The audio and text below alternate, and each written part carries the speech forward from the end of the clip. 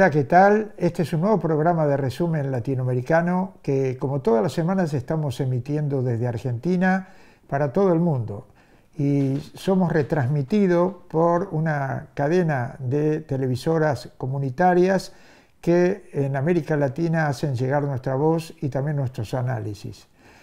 Vamos a comenzar eh, porque estamos en tiempo ya de descuento, en tiempo electoral en la Argentina se ha realizado la primera ronda del debate presidencial, con la presencia, obviamente, de los candidatos eh, como son eh, Patricia Bullrich, eh, Sergio Massa, Javier Milei y también Miriam Breckman y Chiaretti, el, el gobernador de Córdoba actual, Juan Chiaretti. Bueno, el debate fue desde todo punto de vista de los grandes, de los tres grandes que aspiran a la presidencia, realmente deslucido. Eh, una cantidad de chicanas, como era de esperar, entre Milei y Sergio Massa, un discurso de Milei agresivo, pero más agresivo el de Patricia Bullrich, con mucho olor a fascismo el de ambos, eh, con realmente amenazas por parte de la Bullrich eh, que no digiere cuando Miriam Breckman le dice que es la responsable de la muerte de Santiago Maldonado, del asesinato de Santiago Maldonado, y ella, eh, irascible, eh, responde haciéndole un homenaje a los gendarmes que mataron a Santiago Maldonado. Esto con un discurso de impunidad total, para que lo vean millones de argentinos. Y por otro lado, Milei con su discurso típico de que no son 30.000 los desaparecidos, que son 8.000 y pico, como si dijéramos, bueno, va a llover, 8.000 muertos, asesinados, terrorismo de Estado, eh, y a él le parecen pocos, pero le parecen muchos 30.000, cuando la cifra es más que 30.000 incluso. Y eh, en el lado de Sergio Massa, la verdad es que eh, yo no le compraría un coche usado a Sergio Massa porque es un personaje que habla, eh, estando en el gobierno, eh, siendo superministro de Economía de este gobierno, siendo el responsable de la firma del acuerdo con el Fondo Monetario, como se lo dijo muy bien Miriam Breckman, habla como de afuera, no tiene responsabilidad, habla como si fuera de otro gobierno, incluso dice la frase en un momento, cuando yo gobierne, no en este gobierno, dice, pero ya gobernás, entonces, ¿cómo hacemos para eh, separar una cosa de la otra? Por supuesto, prometiendo mil cosas que eh, anda a ver si las va a cumplir y poniéndose en el lado del candidato más razonable eh, frente a, a la patética miserabilidad fascistoide de los otros dos, de la Bullrich y de Milley. Y como mm, reglón aparte tenemos que decir que Miriam Breckman fue la más contundente, la más lúcida, la del discurso de, mayor eh, presencia con respecto a la realidad, por supuesto que por izquierda, esto no, quiere decir que conforme a toda la sociedad, porque la sociedad está en un nivel también de eh, eh, falta de conciencia sobre lo que se viene. Y si ve un ómnibus con la foto de Milley, posan haciendo así, igual que Milley, eh, los de clase media y también los de clase muy humilde, por lo cual el, el ómnibus que les vende Milley es de ese tamaño. Pero Miriam Blackman realmente estuvo a la altura de las circunstancias, eh, ya la van a escuchar porque hemos seleccionado algunos eh, de, lo, de lo que sacamos de ese debate, lo mejorcito es lo de, obviamente, lo de Miriam Blackman. Y Schiaretti, bueno, Schiaretti ofreciéndose el mejor postor, cuando eh, Patricia Bullrich, le, él le pregunta a Patricia Bullrich si el gobierno va a pensar en Córdoba, el gobierno que va a ser ella, si fuera presidenta, va a pensar en Córdoba, en el federalismo, por supuesto, Juan, eh, eh, vamos a pensar mucho en Córdoba. y por otro lado, Milei preguntándole si él gobierna, si mi ley gobierna, si Schiaretti estaría dispuesto a apoyar. Y Schiaretti sale con el discurso de yo he apoyado a todos los gobiernos, claro. camaleón, apoya lo que viene. O sea, ambos, ambos fascistoides, eh, Milley y la Bullrich, tratando de pensar que si llegan a segunda vuelta tienen que conseguir los votos de un tipo como Schiaretti. Y Schiaretti poniéndose en la vedette del asunto. Por eso digo, eh, es muy probable que haya un balotaje eh, entre Massa y Milley o Patricia Bullrich, supongo que con Milley. Eh, Schiaretti eh, dará los votos a uno o a otro, y Miriam Breckman la, carrera fundamental la libra en esta, en esta primera vuelta, donde diputados de izquierda son necesarios en un parlamento que va a ser de derecha, de derecha en todas sus variantes, y siempre es bueno no tener un discurso único, eh, por lo menos en lo parlamentario, aunque lo más importante, con uno o con otro o con otra, va a ser en la calle, como siempre. Y eso también se lo dijo Miriam Bregman. Vamos a escucharla en párrafos eh, eh, sacados de lo que fue su discurso global. Buenas noches. Soy Miriam Bregman, soy abogada, soy socialista y lucho cada día por transformar esta sociedad de raíz. Hoy vengo a decirte que no te resignes, que hay otro camino, porque los trabajadores y las trabajadoras somos la inmensa mayoría y si nos unimos tenemos la fuerza para dar vuelta a la historia. Las mujeres ya demostramos que cuando nos movilizamos somos imparables. La crisis que hoy atraviesa nuestro país tiene responsables el Fondo Monetario, el poder económico y sus políticos. Hoy los vas a escuchar hacer promesas de campaña, incluso pelearse, pero están todos involucrados en el escándalo de chocolate en la legislatura de la provincia de Buenos Aires. Mientras hambrean al pueblo, se van en sus yates de lujo a pasear por Europa. Lejos de eso, nosotros no venimos a hacer promesas de campaña, sino venimos a hacer con vos un compromiso de lucha. Patricia Burrich, le toca a usted preguntar y quien va a responder es Miriam Breckman. ¿No son trabajadores los que tienen que ir cuando cortan ustedes la 9 de julio? ¿A esos trabajadores ustedes los dejan solos? ¿A esos trabajadores no les importan? ¿Los comerciantes ¿Pueden dejar de hacer piquetes de una vez y para siempre? Sí, Patricia Bullrich, yo sé que le puede costar comprenderlo desde su ubicación, pero nadie sale a protestar porque le falta un peluquero en el barrio. Cuando hay movilizaciones, cuando hay protestas, es porque no mandan comida a los comedores, porque hay despidos, porque hay cierres de fábricas como las que cerró PepsiCo y usted con María Eugenia Vidal mandaron la gendarmería y la policía y nos los reprimieron ferozmente. Entonces, lo que usted tiene que ver es que usted, porque su partido le votó las principales leyes a este desastroso gobierno de Alberto Fernández, eso tiene consecuencias económicas que llevan a muchas personas a tener que protestar. Se lo dije antes, mamás que tienen que salir a la calle porque recortan en discapacidad. ¿Qué quieren que haga? ¿Qué quiere que la gente se muera de hambre, Patricia Bullrich? Para Miriam Breckman. Sí, vamos a la verdad. Hay tres cosas fundamentales que el ministro Massa oculta. La primera, que fue él el que garantizó que se apruebe el acuerdo con el fondo en el Congreso. La segunda, que el FMI le pidió una devaluación, él se la dio y llevó una inflación de más del 12% mensual y sabe que vienen más. La tercera, que el presupuesto que mandó para el año que viene ya lo ató al Fondo Monetario. Es decir, más allá afirmó que vamos a ser todos un poco más pobres. Ya la pobreza es del 40%. Y le quiero agregar una cosa al señor ministro. No hay soberanía con la bota del FMI sobre nuestras cabezas. Esos datos matan cualquier relato. Su derecho a réplica, 45 segundos. Miriam Bregman. Sí, porque mi ley llega hasta acá hablando contra la casta. No es casta, pero hace alianzas con Barrio Nuevo. No es casta, pero le arma las listas a Sergio Massa.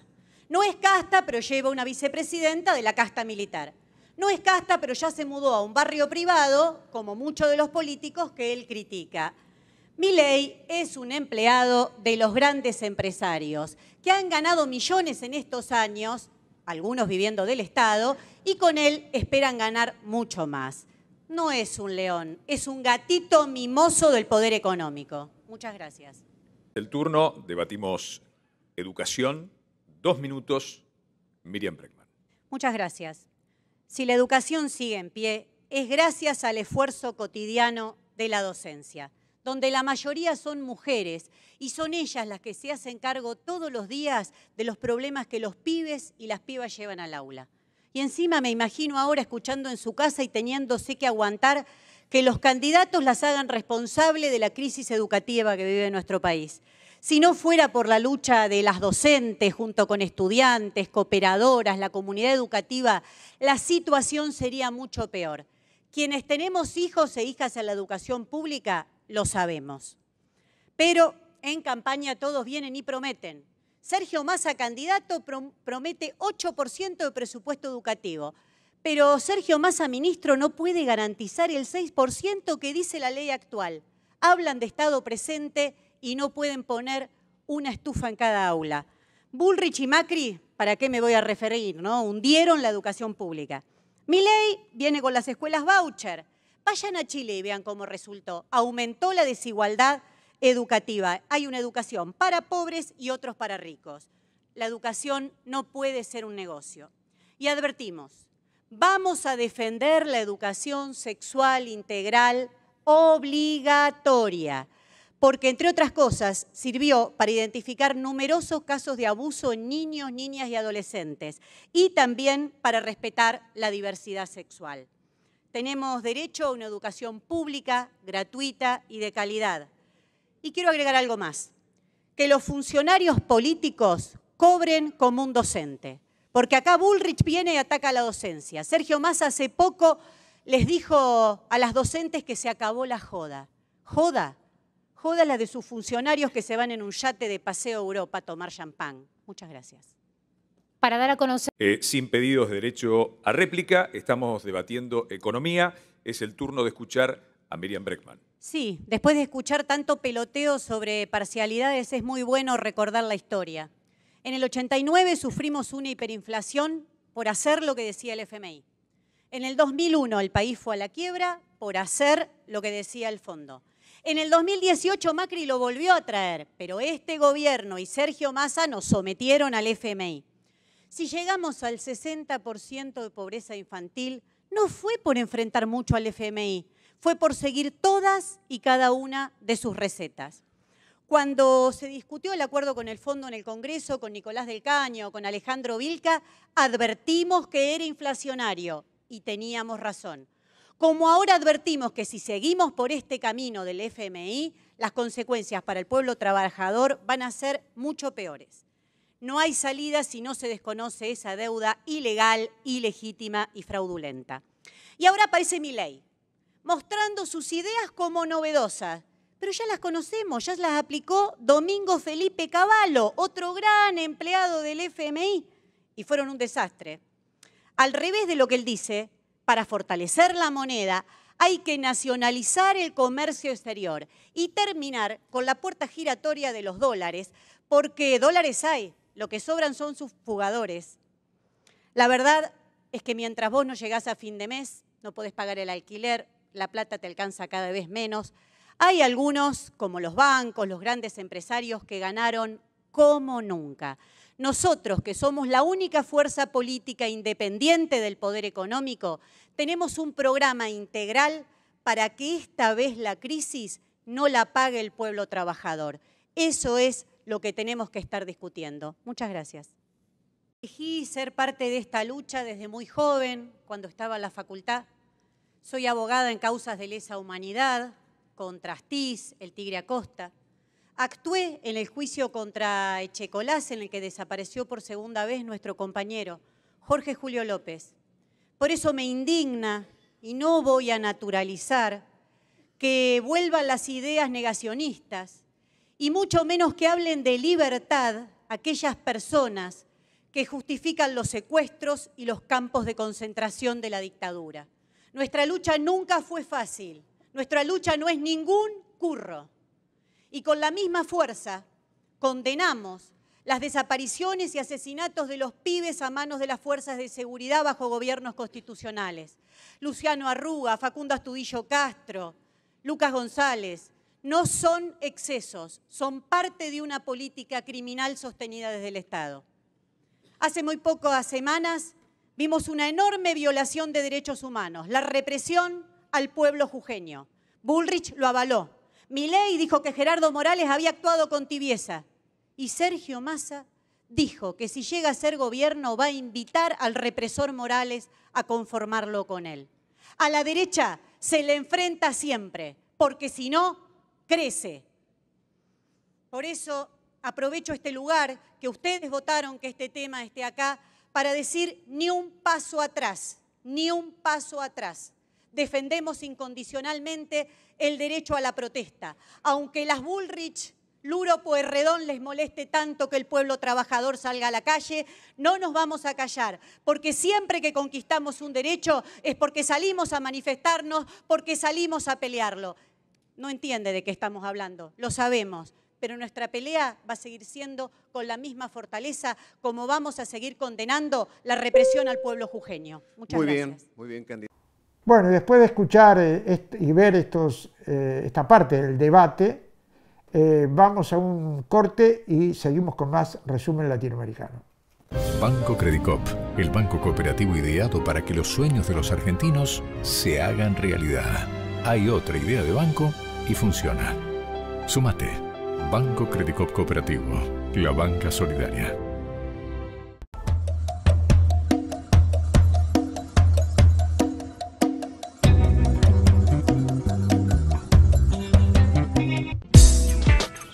Sindicato de Visitadores Médicos, Asociación Agentes de Propaganda Médica de la República Argentina.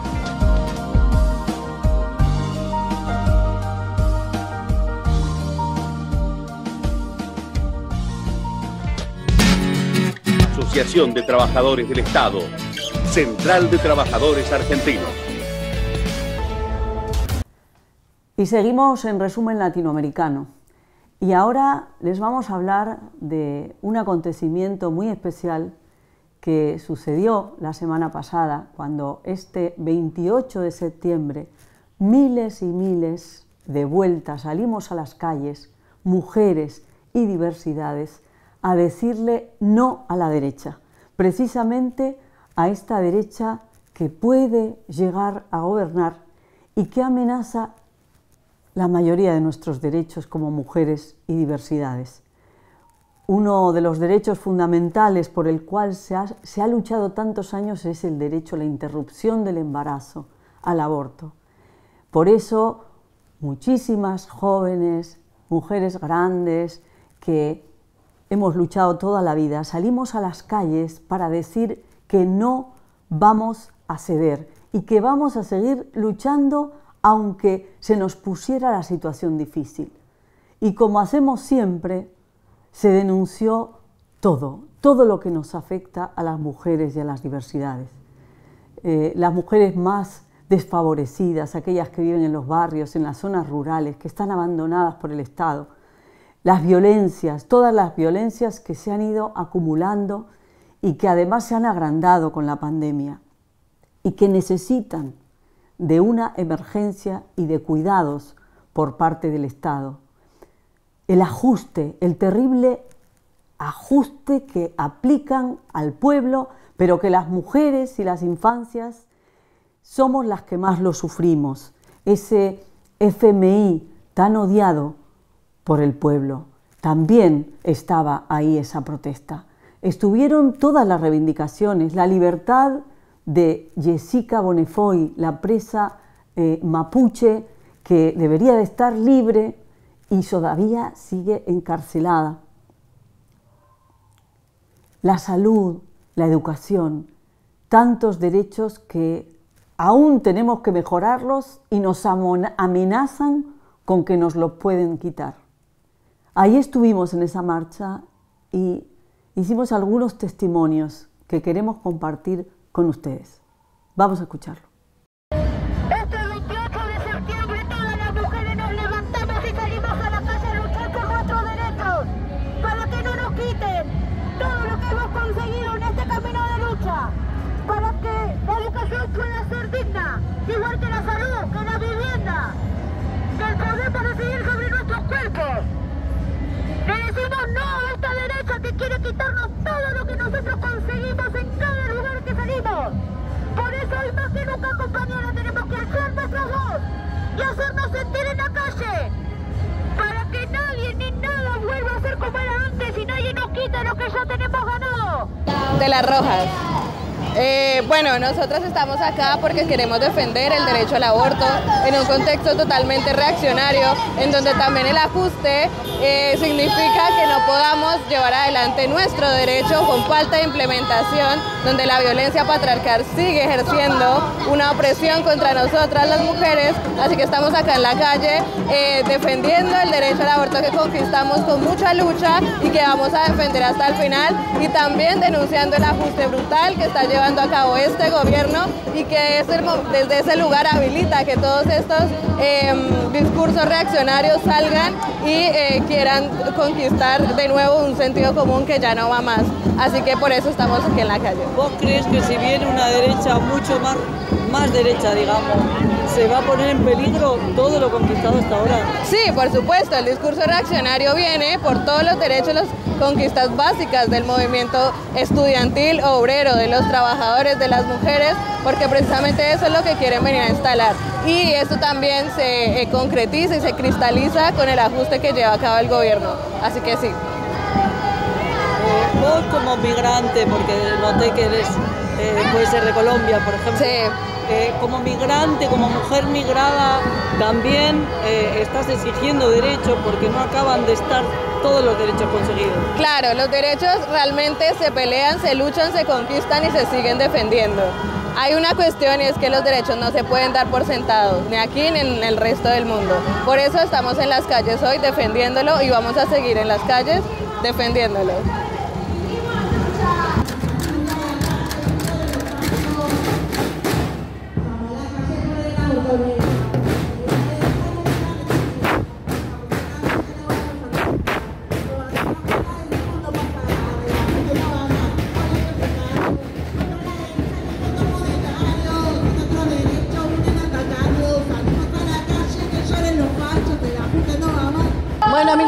Liliana, soy de la FOC, Federación de Organizaciones de Base.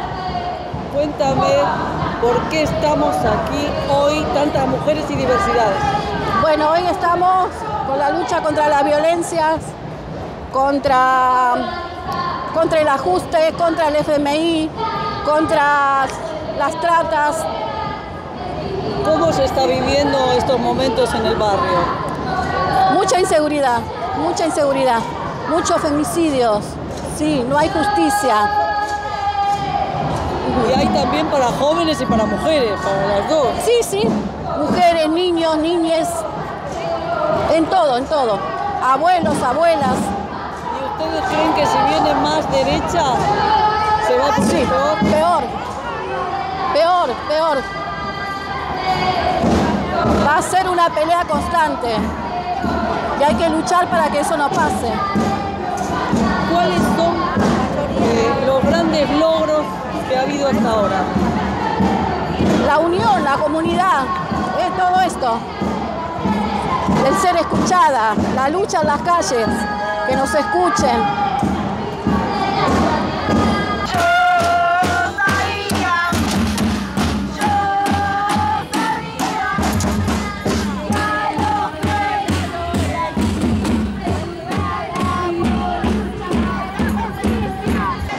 Soy Camila Pereira Gómez, soy secretaria de Cultura y Derechos Humanos del Centro de Estudiantes del Terciario Normal 4. Eh, soy estudiante del profesorado de Educación Primaria. Eh, estoy hoy acá en defensa de la educación sexual integral, en defensa del aborto, en defensa de la educación pública.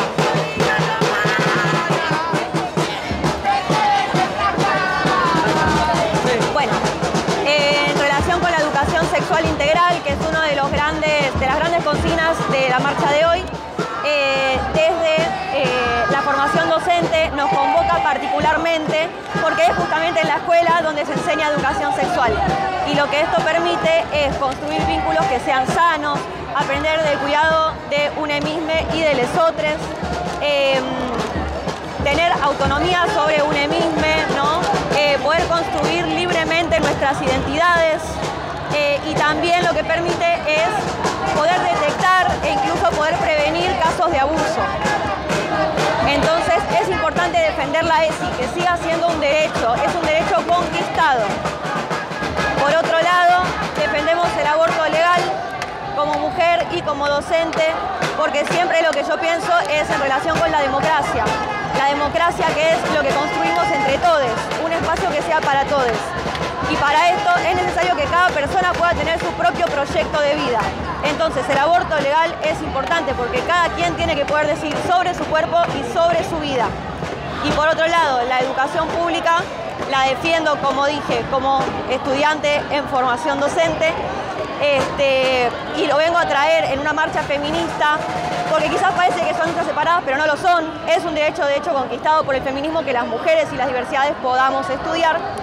Este, y lo que permite la educación pública es que todas las personas podamos acceder a la cultura, acceder a la cultura, acceder a esos conocimientos que se consideran valiosos en nuestra sociedad, es lo que permite que podamos interpretar la realidad que nos rodea, poder salir de la individualidad y pensar en los marcos colectivos, en que eso que me pasa a mí está pasándole a mucha más gente, poder hacer un análisis crítico de la realidad en la que vivimos. Este, y bueno, lo que esto permite es que podamos participar después en la sociedad, en la toma de decisiones. Eso es lo que dice mi cartel. Eh, entonces, por eso también la lucha por la educación pública es una lucha del feminismo, porque la educación pública nos permite participar en la toma de decisiones, participar de lo público, de la vida pública.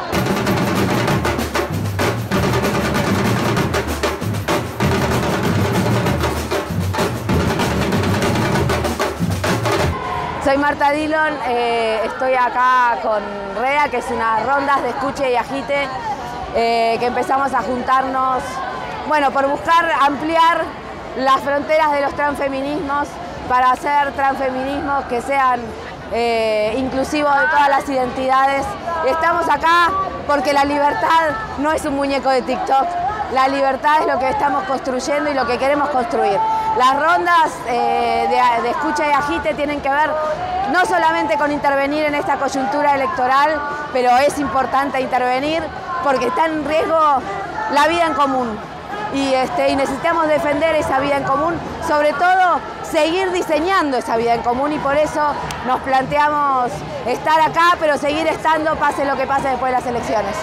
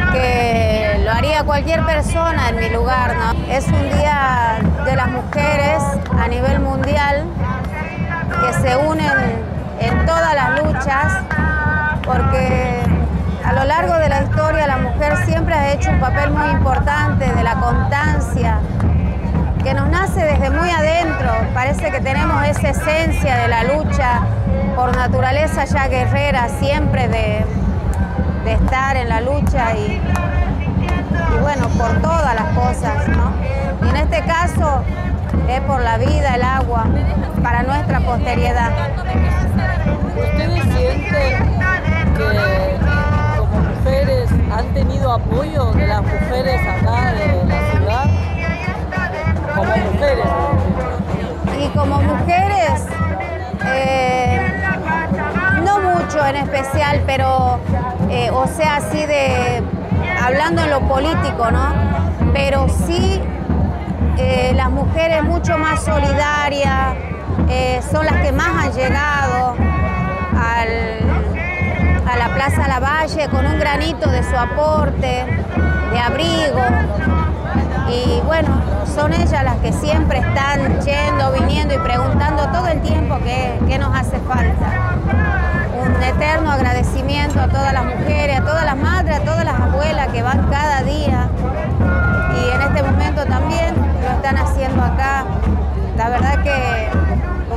abrazo y qué más decirle. ¿Cómo te sientes hoy? Y hoy es un día muy emotivo, ¿no? Donde, donde es un día más que estoy lejos de mi casa, sin ver a mi familia y, y donde van sumando las horas